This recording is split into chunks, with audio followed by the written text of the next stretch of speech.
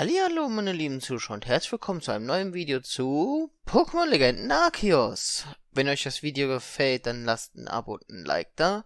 Und ich wünsche euch jetzt viel Spaß mit dem Video. Äh, Jonas Auftrag. Dann mal los. Ich guck, dass ich mir zuerst einen Baumpel fange. Und wieder in der Ebene. Hallo. Na, bist du erschrocken? Natürlich bist du ersch Schließlich habe ich dich überrascht. Hör mal gut her. Es gibt eine Geheimtechnik beim Fangen von Pokémon. Geheime Kunst des Überraschungsmanövers. Wenn du von hinten ein Pokéball auf ein Pokémon wirfst und es am Rücken triffst, erschrickt es. Das erleichtert dir das Fangen und verschafft dir im Kampf gegen das Pokémon einen Vorteil. Okay, wenn ich sie von hinten treffe, dann äh, habe ich einfach nur einen Vorteil. Okay.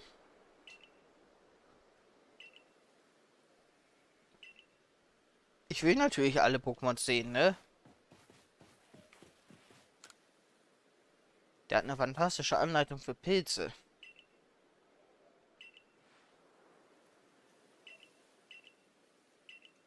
Okay.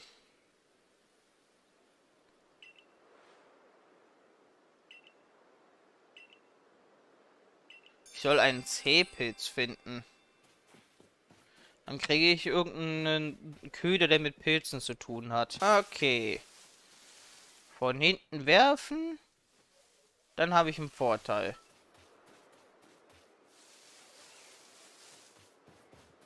Das heißt, ich will in das Gebüsch hier.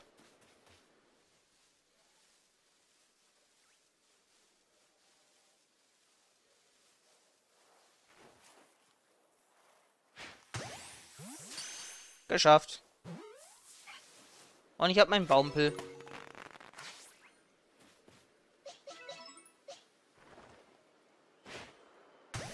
Am Rücken getroffen. Ja. Ich wurde, äh, hab's überrumpelt.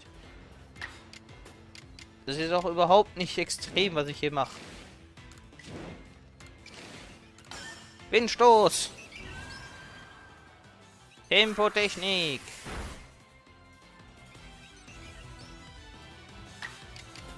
Aeroas! Besiegt. Und eine löschige Aprikoko dafür besiegt, äh, bekommen. Genau, ich habe die Aprikoko besiegt. Nicht das Pokémon. Habt ihr alle was falsch verstanden, Leute? Hm. Einfach das Scheinux ignoriert und weiter. Hallo? Ich will da lang.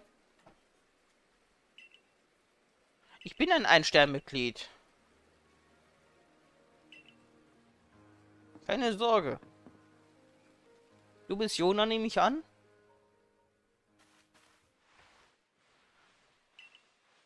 Ja, hey, hier sind wir.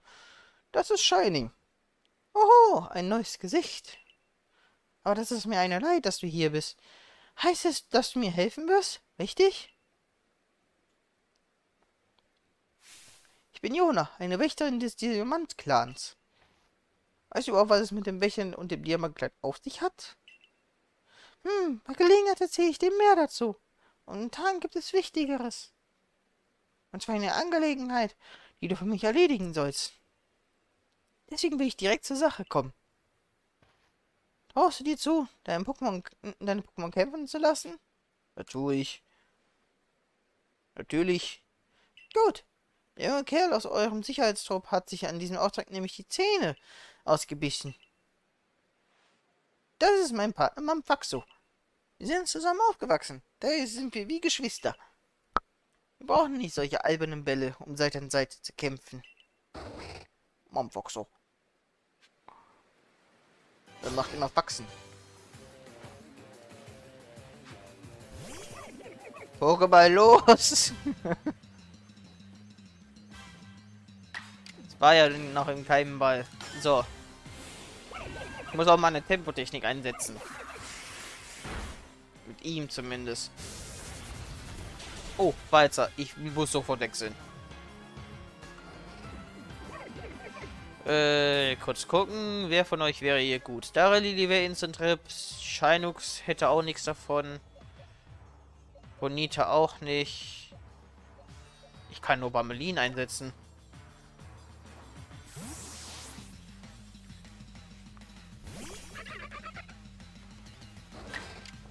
Wasserdüse. Musste aufstoßen. Entschuldigung. Oh, eine Krafttechnik. Aua, was fällt dir ein, mich mit anzugreifen?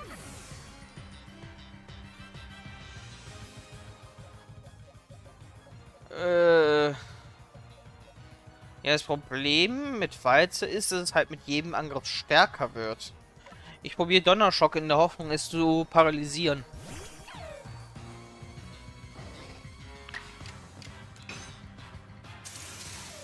Komm. Ja, Paralyse. Los, Zeit für einen Kraftangriff. Ruckzucki. Walzer. Und noch ein Pokémon-Rip. Hätte noch ein bisschen trainieren sollen. Eigentlich sollte Baut es jetzt hinrichten können. Okay, ich kann einmal Ruhe erst machen. Und dann kann ich mit Windstoß finishen. Natürlich in der Kraftversion. Ich merke übrigens, ich verdecke meine HP-Wert. Äh, deswegen überlege ich, mich auf die rechte Seite zu setzen während Kämpfen. Aber das wäre ein bisschen aufwendig. Hm. Du musst einiges auf dem Kasten haben, wenn du es mit Mampaxo aufnehmen kannst. Gut gekämpft, Mampaxo. Mompf. Komm, lass mich deine Pokémon ein. Ach, danke, ich muss keine Beleber nutzen. Und hier, ich habe auch noch was für dich. Hier gehört, dass die Expeditionsmitglieder aus Materialien allerlei Sachen selbst herstellt. Vitalknospen. Danke. Du und deine Pokémon arbeitet wirklich hervorragend zusammen. Du erinnerst mich regelrecht an den Helden, von dem mir als Kind immer erzählt wurde. Den Helden aus der alten Legende. Gut, ich habe mich entschieden. Ich werde dir den Auftrag überlassen.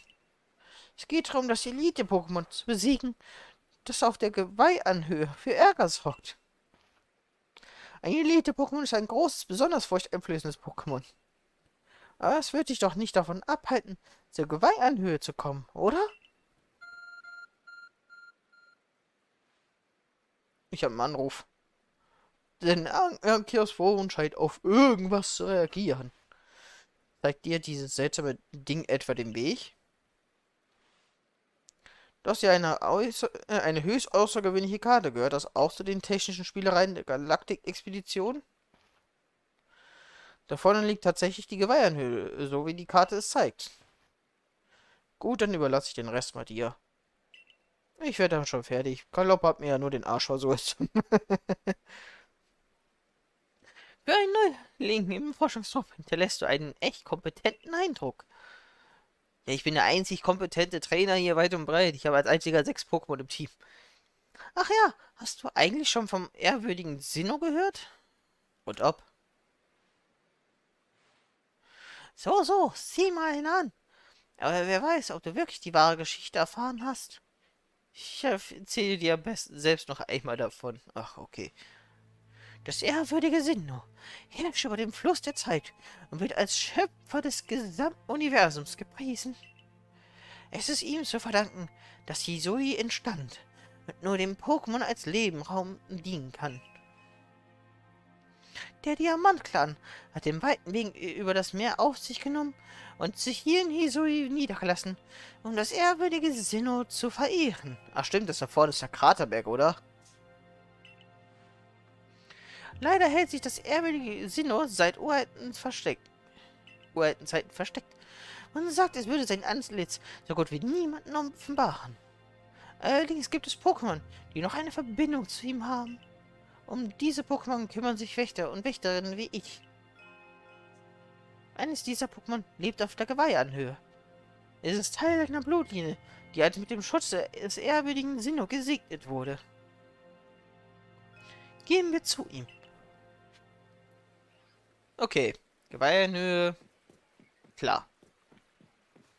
Lässt sich einrichten. Ich kriege sich auch so gefangen. Hier geblieben! Ich sagte, hier geblieben. Als ob ich den gerade voll Kalle den Ball in den Nacken geworfen habe. Genickbruch incoming. ich suche jetzt immer noch nach diesen Pilzen, ne?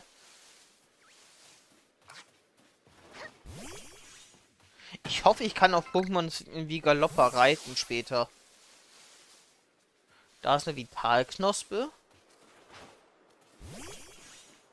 Habe ja gerade eine bekommen, deswegen weiß ich ja, wie sie aussieht. Oh, da war ein Bomi drin. Ich denke mal nicht, dass Glut es instant verrecken lässt. Wäre besser als Waumpel tatsächlich. Mal los!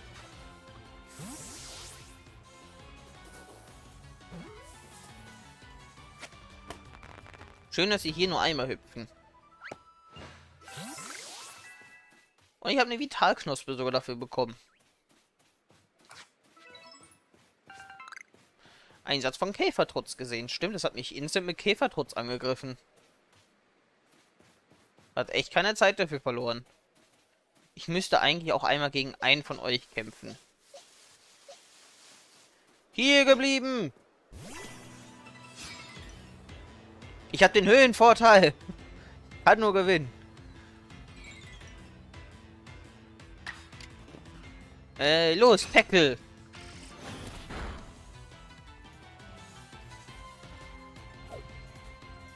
Mann, das Vieh soll kämpfen.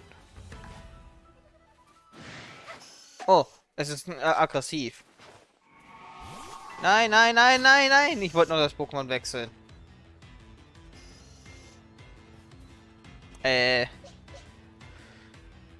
Zubat ist jetzt äh, nicht so ein, eine Aufbesserung fürs Team, aber ich muss ja die Liste vollkriegen. Also los.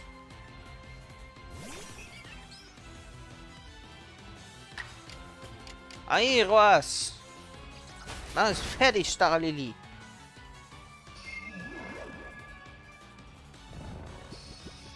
Aufwachen, du Schnarchtüte! Warte mal, wäre es nicht schlau, wenn ich mich hinter denen immer positioniere? Ist offenbar egal.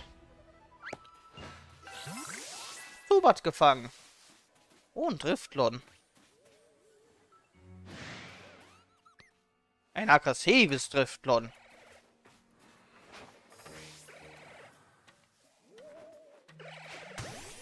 In den Rücken. Wasserdüse!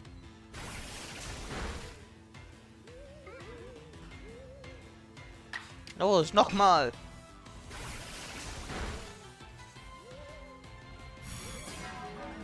Ich glaube, es ist schon geschwächt genug.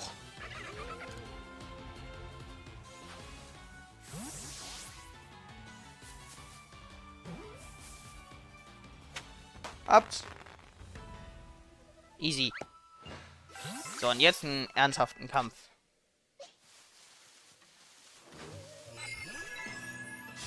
Hat Konfusion auf mich eingesetzt. Nee, Hypnose.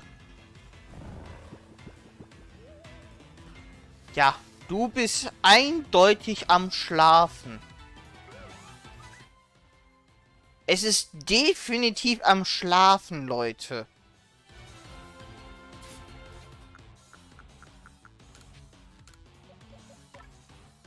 Wach auf.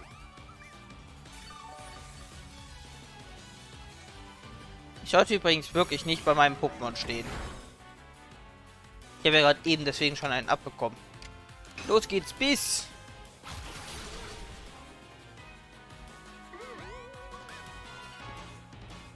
Tja, daneben. So, jetzt machen wir es fertig. Beiß es weg. Dafür kriege ich eine Schutzblume. Ich habe immer noch keinen von diesen Pilzen gefunden. Aber ich habe Holz gefunden.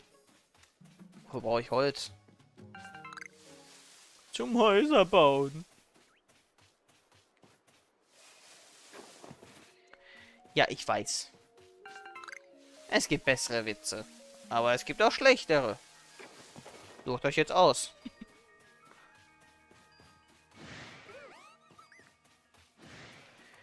Ich brauche mehr von den Schwerbällen. Das heißt, ich brauche auch mehr von den Aprikokus. Da ist schon wieder eine komische Blume. Ätherkraut. Dann kann ich mir später Elfers herstellen. Oh. Okay, du bist aggressiv. Dich hätte ich bei Pikachu gebraucht. Wasserdüse. Ich hoffe, du hast Robustheit.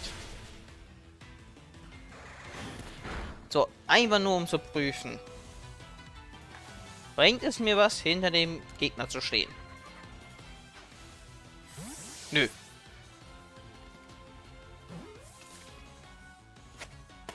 Aber ich habe einen kleinen Stein. Und da ist auch noch so ein Eva-Kraut. Das sollte ich mitnehmen.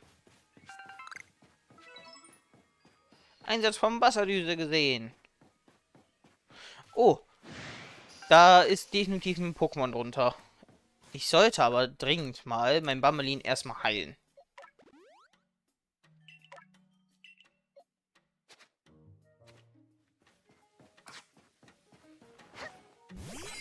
So, was versteckt sich da drunter? Ein kleinen Stein. Ich wurde instant aufgeweckt. So, Wasserdüse. Das hier hat Robustheit, glaube ich.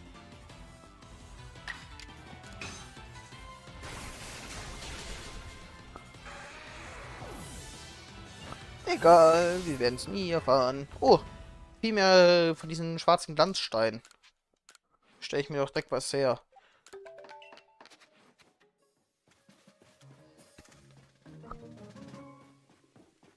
Ich würde gerne eigentlich auch einmal zum Dorf zurückkehren. Aber ich will erst so ein weiteres Lager finden. Wo ich mich hinporten kann.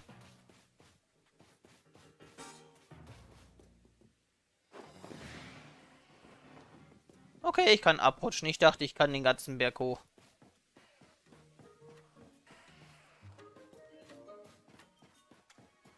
Eventuell finde ich diese Pilze ja da Äh, in einem Wald. War ja gerade eben so ein riesiges äh, Waldbiom. Oh, sieh eine an. Ist das nicht euer Professor? Was macht er denn hier? Oh, ich dachte, ich käme zu spät. Als Pokémon-Professor konnte ich es mir einfach nicht entgehen lassen, diese Elite-Pokémon mit eigenen Augen zu sehen. Es ist wohl wirklich Teil ihrer Arbeit. Gut, solange sie uns nicht in, ihr, in die Quere kommen, habe ich nichts dagegen. Ich habe das falsche Pokémon, oder? Die Geweih-Anhöhe. Hier bringen wir den Nachkommen des Pokémons, dem einst der, der Segen des ehrwürdigen Sinnohs zuteil wurde, unsere Gaben da. Ein Zirpurze? Das ist keiner der besagten Nachkommen. Nur ein Unruhestifter, der für Aufruhr sorgen will. Shining, vertreibe es von diesem geweihten Ort. Heile vorher noch schnell all deine Pokémon. Ja toll, dann hätte ich das ja nicht machen müssen. Ich bin bereit. My word. Dieses Pokémon ist ja riesig. Kein Wunder, dass Elite-Pokémon überall gefürchtet werden. Ganz richtig. Elite-Pokémon sind riesige und unheimlich starke Pokémon. Außerdem verfügen sie über besondere Attacken, die sie umso gefährlicher machen. Halt dich nicht zurück und begegne mit deiner vollen Stärke. Vielleicht könnte ich mit dem Schwerball das Galoppa einfangen. Sei vorsichtig, Shining. Durch seine immense Größe ist es schon gefährlich genug. Aber mit Sicherheit verfügt dieses Pokémon umdrehen eine gewaltige Stärke und Ausdauer. Wenn du gegen es kämpfen willst, solltest du die richtigen Pokémon dabei haben und ihnen starke Attacken beibringen.